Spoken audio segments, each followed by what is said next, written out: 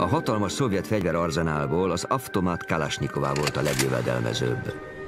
Az 1947-es modell ismertebb nevén az AK-47-es, azaz Kalasnyikov. Ez a legnépszerűbb támadó fegyver a világon.